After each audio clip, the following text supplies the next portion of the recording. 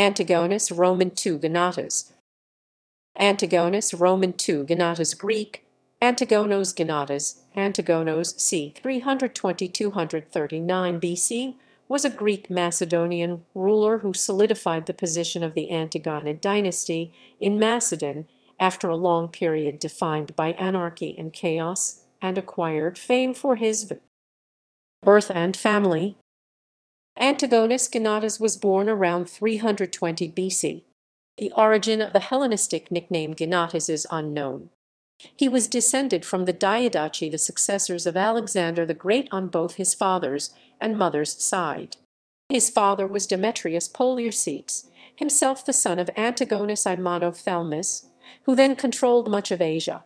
His mother was Phila, the daughter of Antipater, who had controlled Macedonia and the rest of Greece since 334 B.C and was recognized as regent of the empire, which in theory remained united. In the year of Antigonus Gonatas' birth, however, Antipater died, leading to further struggles for territory and dominance. The careers of Antigonus's grandfather Antigonus Monophthalmus and father showed great swings in fortune. After coming closer than anyone to reuniting the empire of Alexander, Antigonus Monophthalmus was defeated and killed in the great battle of Ipsus in 301 BC, and the territory he formerly controlled was divided among his enemies, Cassander, Ptolemy, Lysimachus, and Seleucus. Demetrius's general. The fate of Antigonus Gonatas, now 18, was closely tied with that of his father Demetrius, who escaped from the battle with 9,000 troops. Jealousy among the victors eventually allowed Demetrius to regain part of the power his father had lost. He conquered Athens, and in 294 B.C. he seized the throne of Macedonia from Alexander, the son of Cassander. Because Antigonus Gonatas was the grandson of Antipater and the nephew of Cassander through his mother, his presence helped to reconcile the supporters of these former kings to the rule of his father. In 292 B.C., while Demetrius was campaigning in Boeotia, he received news that Lysimachus, the ruler of Thrace and the enemy of his father, had been taken prisoner by Dromichetes, a ruler of the Getae. Hoping to seize Lysimachus' territories in Thrace and Asia, Demetrius delegated command of his forces in Boeotia to Antigonus and immediately marched north. While he was away, the Boeotians rose in rebellion but were defeated by Antigonus, who bottled them up in Thebes. After the failure of his expedition to Thrace, Demetrius joined his son at the siege of Thebes. As the Thebans defended their city stubbornly, Demetrius often forced his men to attack the city at great cost, even though there was little hope of capturing it. It is said that, distressed by the heavy losses, Antigonus asked his father, Why, father, do we allow these lives to be thrown away so unnecessarily? Demetrius appears to have showed his contempt for the lives of his soldiers by replying, We don't have to find rations for the dead. But he also showed a similar disregard for his own life and was badly wounded at the siege by a bolt through the neck. In 291 BC, Demetrius finally took the city after using siege engines to demolish its walls. But control of Macedonia and most of Greece was merely a stepping stone to his plans for further conquest. He aimed at nothing less than the revival of Alexander's empire, and started making preparations on a grand scale, ordering the construction of a fleet of 500 ships, many of them of unprecedented size. Such preparations and the obvious intent behind them naturally alarmed the other kings, Seleucus, Ptolemy, Lysimachus, and Pyrrhus, who immediately formed an alliance. In the spring of 288 BC Ptolemy's fleet appeared off Greece, inciting the cities to revolt. At the same time, Lysimachus attacked Macedonia from the east while Pyrrhus did so from the west. Demetrius left Antigonus in control of the rest of Greece while he hurried to Macedonia. By now the Macedonians had come to resent the extravagance and arrogance of Demetrius, and were not prepared to fight a difficult campaign for him. In 287 B.C., Pyrrhus took the Macedonian city of Berea, and Demetrius's army promptly deserted and went over to the enemy, who was much admired by the Macedonians for his bravery. At this change of fortune, Phila, the mother of Antigonus, killed herself with poison. Meanwhile, Athens revolted. Demetrius therefore returned and besieged the city, but he soon grew impatient and decided on a more dramatic course. Leaving Antigonus in charge of the war in Greece, he assembled all his ships and embarked with eleven thousand infantry and all his cavalry to attack Caria and Lydia, provinces of Lysimachus. As Demetrius was chased across Asia Minor to the Taurus Mountains by the armies of Lysimachus and Seleucus, Antigonus attained success in Greece. Ptolemy's fleet was driven off and Athens entered. In the wilderness. In 285 BC, Demetrius, worn down by his fruitless campaign, surrendered to Seleucus.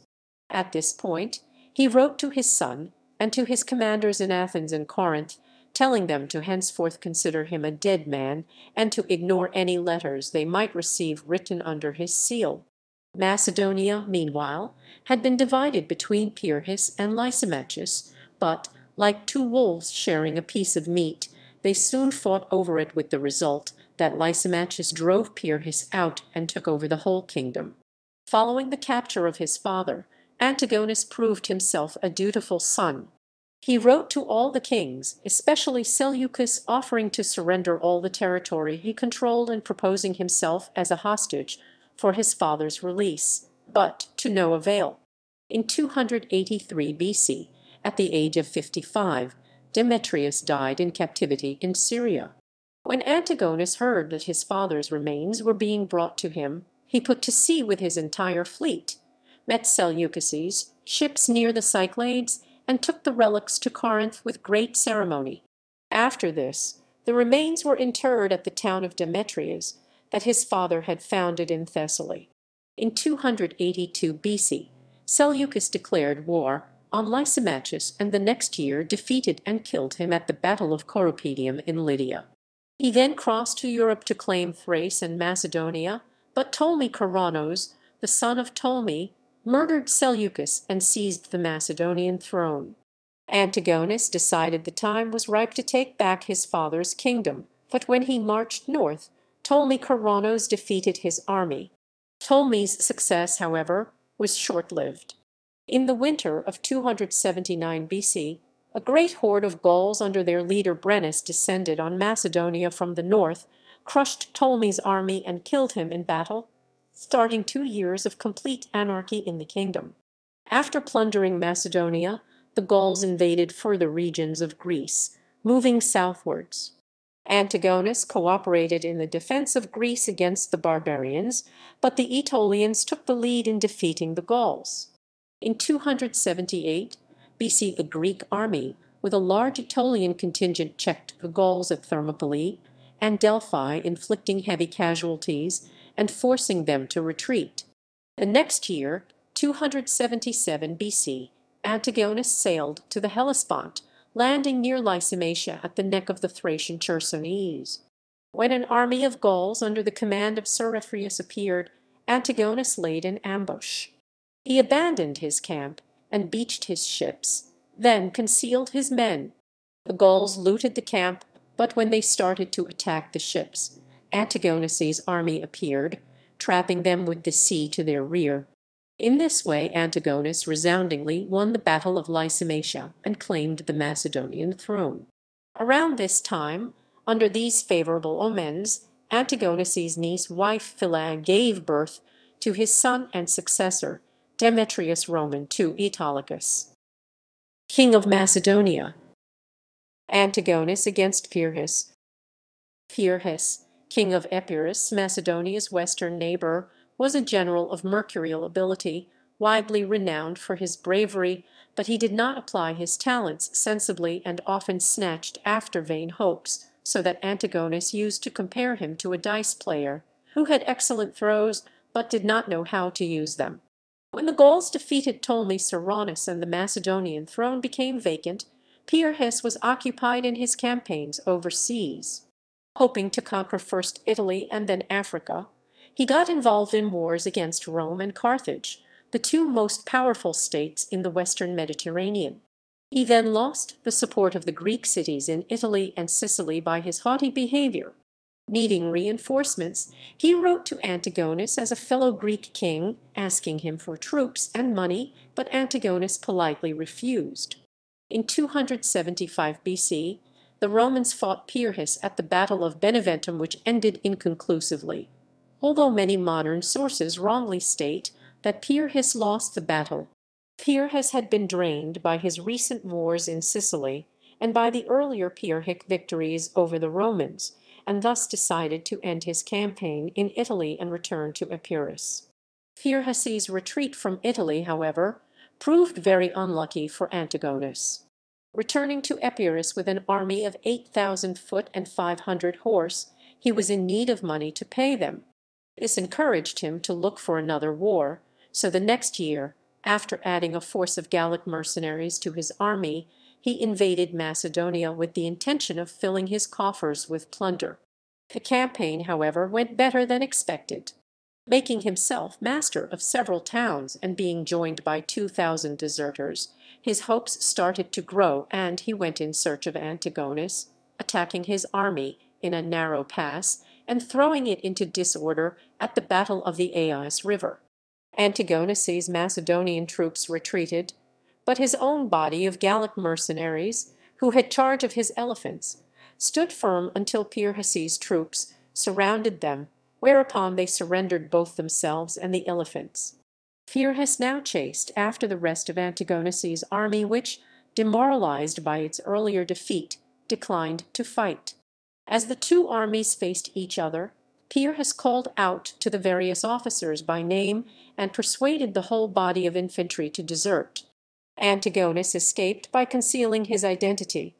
Pyrrhus now took control of Upper Macedonia and Thessaly, but Pyrrhus now wasted his victory. Taking possession of Aegae, the ancient capital of Macedonia, he installed a garrison of Gauls who greatly offended the Macedonians by digging up the tombs of their kings and leaving the bones scattered about as they searched for gold. He also neglected to finish off his enemy.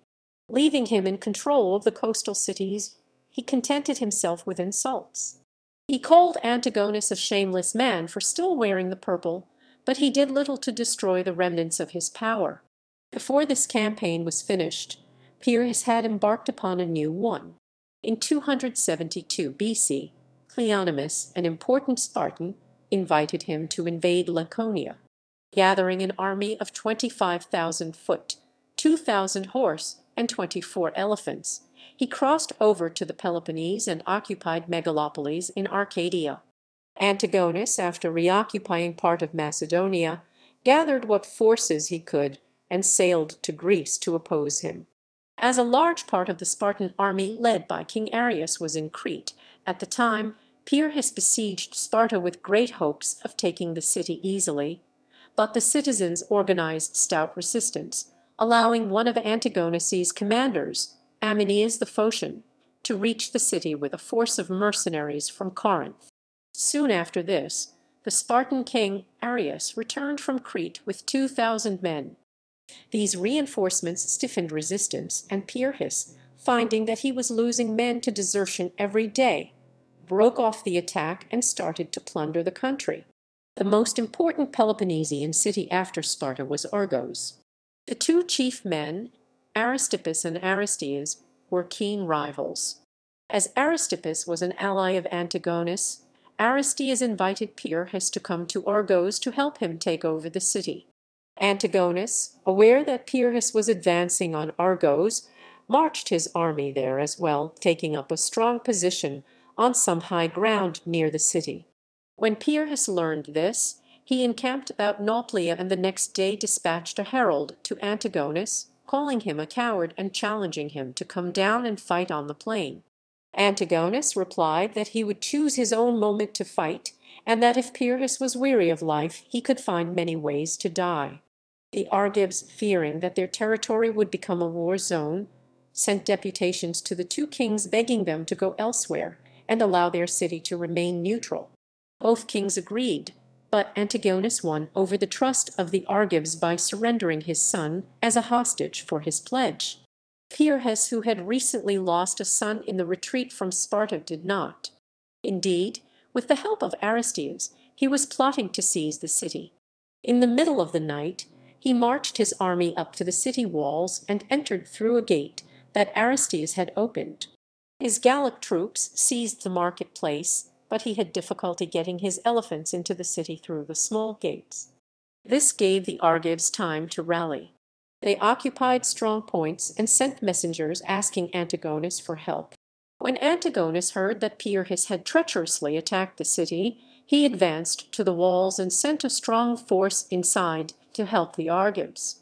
At the same time Areus arrived with a force of 1,000 Cretans and light-armed Spartans. These forces attacked the Gauls in the market place. Pyrrhus, realizing that his Gallic troops were hard pressed, now advanced into the city with more troops, but in the narrow streets this soon led to confusion as men got lost and wandered around. The two forces now paused and waited for daylight. When the sun rose, Pyrrhus saw how strong the opposition was and decided the best thing was to retreat. Fearing that the gates would be too narrow for his troops to easily exit the city, he sent a message to his son Helenus, who was outside with the main body of the army, asking him to break down a section of the walls. The messenger, however, failed to convey his instructions clearly. Misunderstanding what was required, Helenus took the rest of the elephants and some picked troops and advanced into the city to help his father.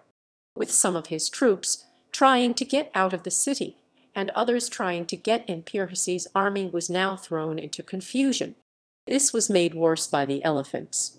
The largest one had fallen across the gateway and was blocking the way while another elephant, called Nicon, was trying to find its rider. This beast surged against the tide of fugitives, crushing friend and foe alike until it found its dead master, whereupon it picked him up, placed him on its tusks, and went on the rampage. In this chaos Pyrrhus was struck down by a tile thrown by an old woman and killed by Zopyrus, a soldier of Antigonus. Alcyoneus, one of Antigonus's sons, heard that Pyrrhus had been killed. Taking the head, which had been cut off by Zopyrus, he rode to where his father was and threw it at his feet. Far from being delighted, Antigonus was angry with his son and struck him, calling him a barbarian and drove him away. He then covered his face with his cloak and burst into tears. The fate of Pyrrhus reminded him all too clearly of the tragic fates of his own grandfather and his father who had suffered similar swings of fortune. He then had Pyrrhus's body cremated with great ceremony. After the death of Pyrrhus, his whole army and camp surrendered to Antigonus, greatly increasing his power. Later Alcyoneus discovered Helenus, Pyrrhus's son, disguised in threadbare clothes. He treated him kindly and brought him to his father who was more pleased with his behavior. This is better than what you did before, my son, he said, but why leave him in these clothes, which are a disgrace to us now that we know ourselves the victors? Greeting him courteously, Antigonus treated Helenus as an honored guest and sent him back to Epirus. This was not the end of Antigonus' problems with Epirus. Shortly after Alexander Roman II, the son of Pyrrhus and his successor as king of Epirus, repeated his father's adventure by conquering Macedonia. However, only a few years later, Alexander was not only expelled from Macedonia by Antigonus' son Demetrius, but he also lost Epirus and had to go into exile in Acarnania. His exile didn't last long as the Macedonians had to abandon Epirus eventually under pressure from Alexander's allies, the Acarnanians and the Aetolians. Mm-hmm. Alexander seems to have died about 242 BC, leaving his country under the regency of his wife Olympias, who proved anxious to have good relations with Epirus' powerful neighbor, as was sanctioned by the marriage between the regent's daughter Phaia and Antigonus' son and heir Demetrius. Cremonidean War With the restoration of the territories captured by Pyrrhus, and with grateful allies in Sparta and Argos, and garrisons in Corinth and other cities, Antigonus securely controlled Macedonia and Greece. The careful way he guarded his power shows that he wished to avoid the vicissitudes of fortune that had characterized the careers of his father and grandfather. Aware that the Greeks loved freedom and autonomy, he was careful to grant a semblance of this inasmuch as it did not clash with his own power. Also, he tried to avoid the odium that direct rule brings by controlling the Greeks through intermediaries. It is for this reason that Polybius says, no man ever set up more absolute rulers in Greece than Antigonus. The tyrants installed or maintained by Gonatas include Cleon Sicyon, c. 300-280 BC, Euthydemus and Timocleides Sicyon c. 280-270 BC, Isias Corinia, resigned 275 BC, Aristotimus Elis, assassinated 272 BC, Aristippus the Elder. The next stage of Antigonus's career is not documented, and what we know has been patched together from a few historical fragments. Antigonus seems to have been on very good terms with Antiochus, the Seleucid ruler of Asia, whose love for Stratonice, the sister of Antigonus, is very famous. Such an alliance naturally threatened the third successor state, Ptolemaic Egypt. In Greece, Athens and Sparta, once the dominant states, naturally resented the domination of Antigonus. The pride, which in the past had made these cities mortal enemies, now served to unite them.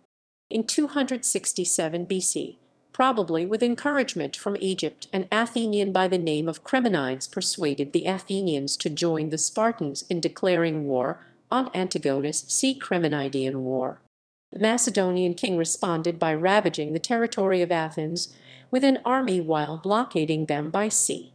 In this campaign he also destroyed the grove and temple of Poseidon that stood at the entrance to Attica near the border with Megara to support the Athenians and prevent the power of Antigonus from growing too much, Ptolemy Roman II Philadelphus, the king of Egypt, sent a fleet to break the blockade.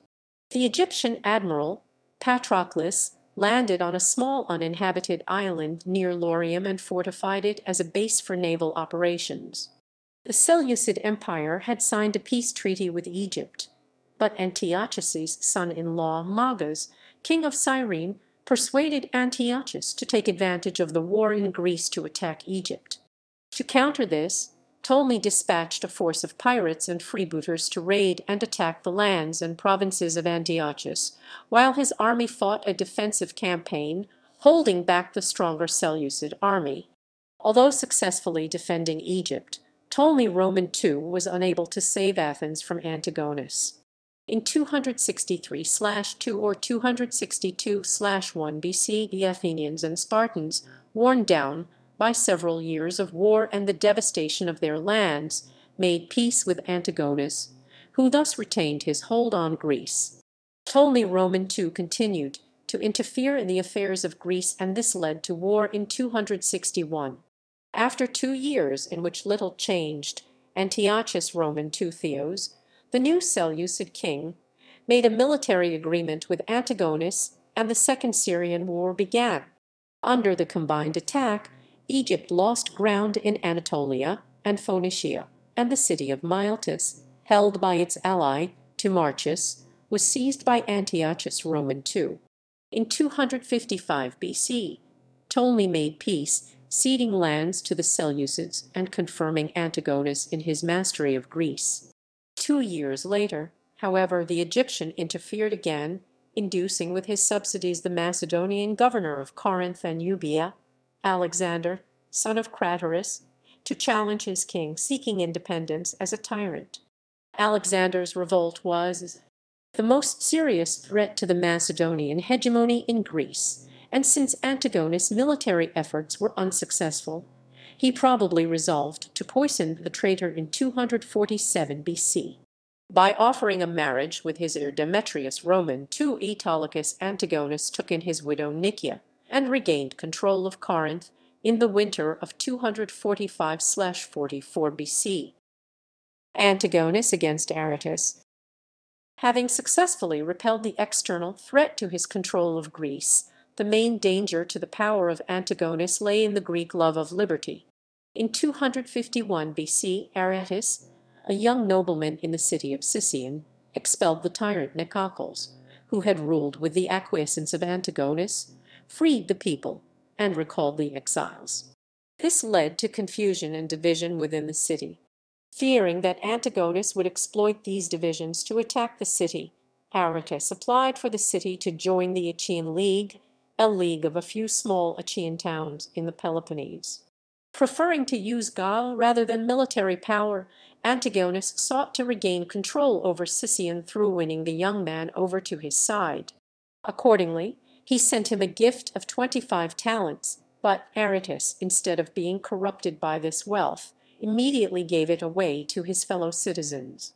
With this money and another sum he received from Ptolemy Roman II Philadelphus, he was able to reconcile the different parties in Sicyon and unite the city.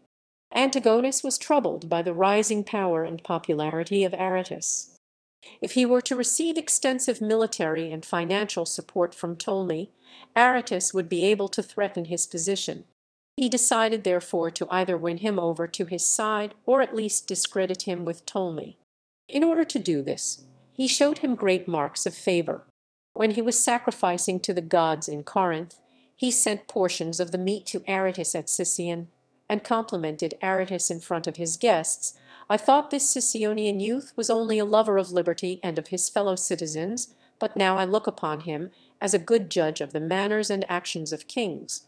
For formerly he despised us, and, placing his hopes for these words were readily believed by many and when they were reported to Ptolemy, he half believed them.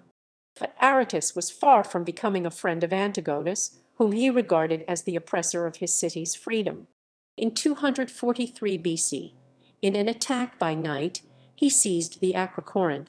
When news of this success reached Corinth, the Corinthians rose in rebellion, overthrew Antigonus' party, and joined the Achaean League. Next Aratus took the port of Lechaeum and captured twenty-five of Antigonus's ships. This setback for Antigonus sparked a general uprising against Macedonian power.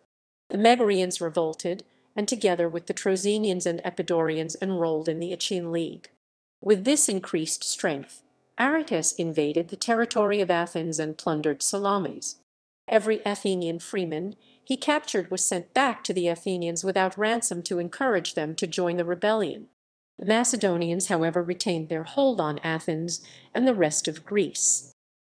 Relationship with philosophers Philosophers Antigonus surrounded himself at court with a circle of notable intellectuals and philosophers. He was mentioned several times by Diogenes Laertius in the lives and opinions of eminent philosophers in relation to various philosophers, particularly those linked with the Megarian, Theorhenist, Cynic, and Stoic schools. We are told that many persons courted Antigonus and went to meet him whenever he came to Athens, and that after an unnamed sea battle. Many of the philosophers linked with Antigonus were associated with the Megarian school. Euphantus, a philosopher of the Megarian school, taught King Antigonus and dedicated to him a work on kingship which was very popular. We are also told that Antigonus consulted Menedemus of Eretria a distinguished member of Phaedo's school of philosophy, about whether to attend a drinking party. Antigonus also knew the Pyrrhonist philosopher Timon of Phlius. Menedemus and Timon had both previously studied with the Megarian school. When the eclectic philosopher Bion of Borysthenes, who was best known as resembling the Cynics, fell ill, Antigonus sent two servants to act as nurses to him, and Antigonus himself reputedly later visited him. Ultimately, though Antigonus became most associated with the Stoics. Zeno of Citium studied under both the Megarians and Cynics before founding the Stoic school, and he became particularly associated with Antigonus. We're told Antigonus Gonatas also favored him Zeno, and whenever he came to Athens would hear him lecture and often invited him to come to his court. Diogenes Laertius reproduces a brief series of letters between Zeno and Antigonus, in which he asked the Stoic to attend his court and help guide him in virtue, for the benefit of the Macedonian people. Zeno at this time was too sickly and frail to travel, so instead he sent two of his best students, Perseus and Philonides the Theban, who subsequently lived with Antigonus. While Perseus was at Antigonus' court, Antigonus once, wishing to make trial of him, caused some false news to be brought to him that his estate had been ravaged by the enemy, and as his countenance fell, Do you see, said he, that wealth is not a matter of indifference? Perseus subsequently became an important figure at the Macedonian court. After Antigonus captured Corinth around 244 B.C., he put Perseus in control of the city as archon. Perseus died in 243 B.C. defending the city against the attack led by Aratus of Sicyon. After Zeno's death, Antigonus reputedly exclaimed, What an audience I have lost! Antigonus subsequently made a gift of 3,000 drachmas to Cleanthes, Zeno's successor as head of the Stoa, whose lectures he also attended. The poet Aratus, who had also studied Stoicism under Zeno, lived at the court of Antigonus. Relations with India Antigonus is mentioned in the Edicts of Ashoka as one of the recipients of the Indian Emperor Ashoka's Buddhist proselytism. Death and appraisal in 239 BC, Antigonus died at the age of 80 and left his kingdom to his son Demetrius Roman II, who was to reign for the next ten years. Except for a short period when he defeated the Gauls, Antigonus was not a heroic or successful military leader. His skills were mainly political.